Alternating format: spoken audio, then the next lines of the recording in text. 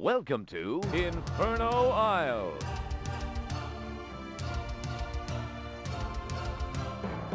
Get ready. Three, two, one, go!